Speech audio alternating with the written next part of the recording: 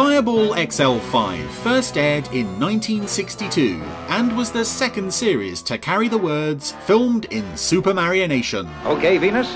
Okay, Steve. Right.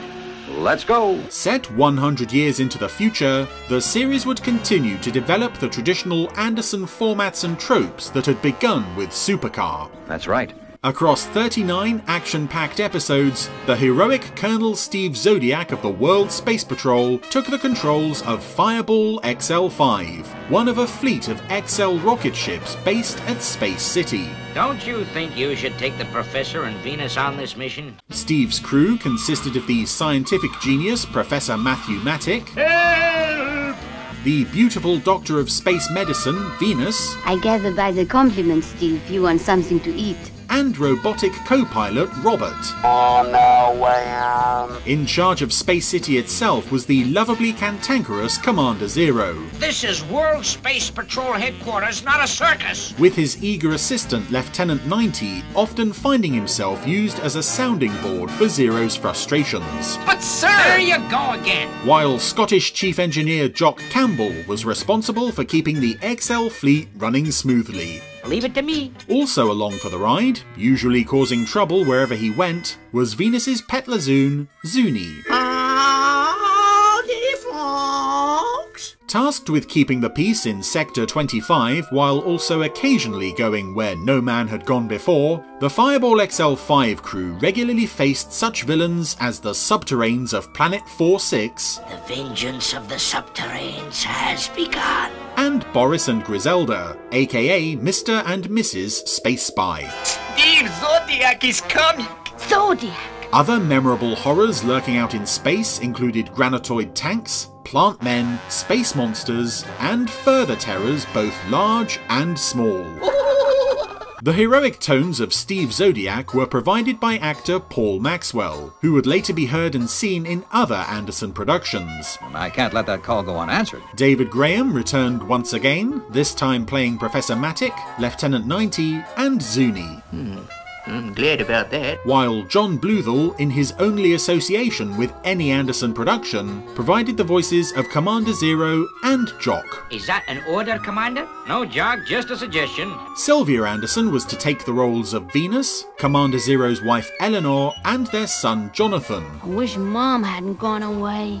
Yeah, you can say that again. while Gerry Anderson himself voiced Robert the Robot and all the show's other robots using an artificial larynx. Robots of the jury, how do you find the prisoners? Uh, Fireball XL5 saw the AP Films team drastically expand the scope of their storytelling, from the contemporary, everyday world of Supercar to the almost limitless possibilities of outer space. Wonderful sight. And the production team rose to the challenge expertly. The puppet department were now producing human characters that were slightly easier on the eye than some of those seen in Supercar, well, most of the time anyway. Ah, shut up. Yeah, shut up. While the show's sci fi setting also allowed them the chance to create a varied mix of strange alien life forms. What do you say to that, pink people? On the model front, we moved from the lone desert laboratory of Black Rock and only occasional guest vehicle of Supercar to the bustling and futuristic Space City, plus a whole universe full of exciting new vehicles. The Fireball XL5 launch sequence, which opened every single episode, proved to be one of the most memorable parts of the show, even if the series never did answer the question on every young fan's mind who has to go and rescue that trolley after every launch? Ah, this is getting monotonous.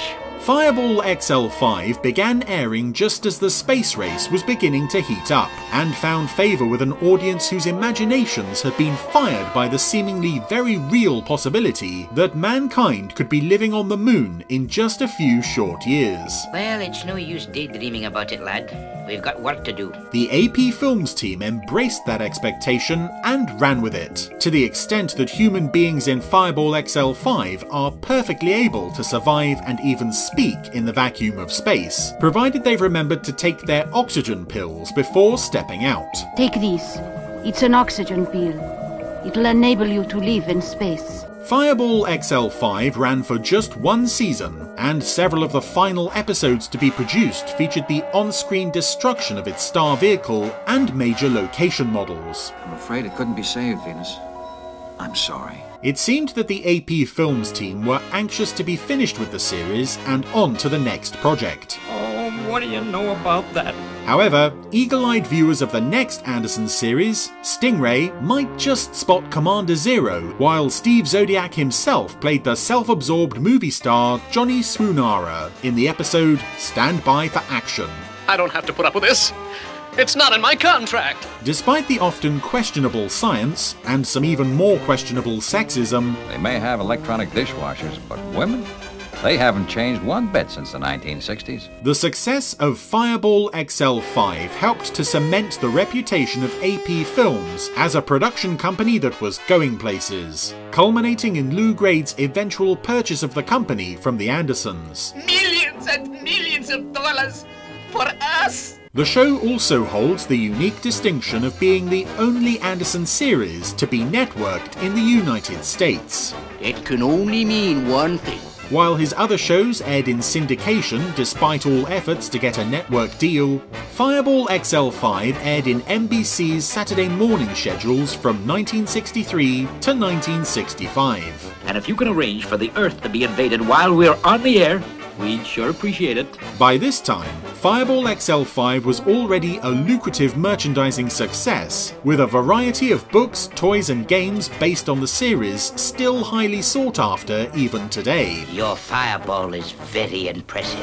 and Don Spencer's classic end title song proving to be one of the most enduring elements of the show. It sure is a cool number. When the classic TV Century 21 comic was first published in 1965, Fireball XL5 fans had new weekly adventures to enjoy, with the show's characters now able to do things their puppet counterparts would never be able to achieve, and this time in full colour. Sadly, the fact that Fireball XL5 the television series was produced in black and white is almost certainly the reason it hasn't enjoyed as much repeat exposure over the years as the colour series that came after it. Yeah, no, no, no, Robert, it's no need to get all steamed up. While its characters can seem more than a little dim at times, even for a children's show, We're making no progress at all. and their would be trendy dialogue makes them sound more like inhabitants of the 1950s than the 2060s, Gee, I'm sorry. I'm a tootie. Real force, Venus. The show still has all the same elements of action and excitement that made the likes of Stingray and Thunderbirds so successful, I think the programs are of an amazingly high standard.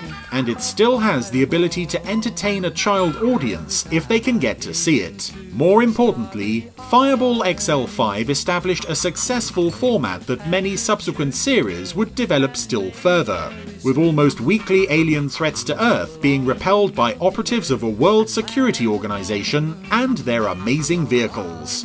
I guess I know now why they call you the greatest astronaut on Space Patrol. I think you're cute too. Fireball XL5 may at times seem like a forgotten series, but its legacy would cast a long shadow over the next decade of Gerry Anderson's output.